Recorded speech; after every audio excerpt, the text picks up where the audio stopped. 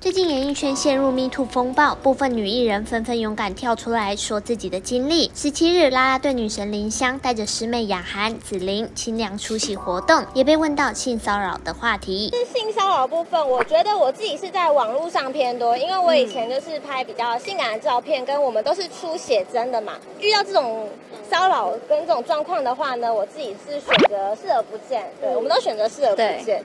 有遇过什么样的骚扰？可能就是他们会分享他们自己重要部位给我们看，然后我们就会吓到。那现在 IG 比较贴心，有设定一些呃勿扰的功能，就是照片会打蒙，所以现在就是可以知道哦，这张照片可能有点问题，所以就尽量不打开。在现场遇过一些比较不礼貌的行为吗？不会，他们就是很开心的拿着大炮在拍我们，然后我就是疯狂对那些大炮放电，所以呢，好像也没有，我自己也是乐在其中啦。嗯，对。关心一下短金最近的状况吗？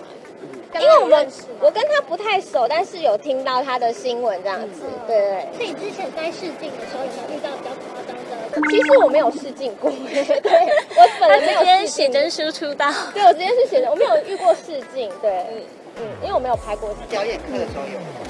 表演课，因为我们的表演课是一群人一起一群人一起上表演课，所以没有遇过。嗯，尺度上面的就是交给公司来评估，对，公司觉得 OK，那我就做。我本身就是偏敬业的人，对，很相信公司的安排，尽量呢避免独处的空间。然后，如果你要工作试镜的话，尽量找经纪人或者家人或是有人陪同，对，这样。拍照的话呢，就是要做好防护的措施，该贴的胸贴啊，该贴的一些呃肤色胶带都要做好，然后。尽量找信任的摄影师，对，然后尽量也不要一对一，对，嗯，就是刚好工作比较忙一点，也比较没有办法正餐的时间好好吃饭。现在几公斤？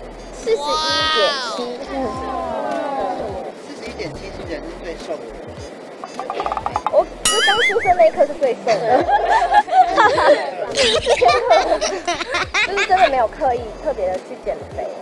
他自己也想要胖一点啦，因为我觉得太瘦有点憔悴。对。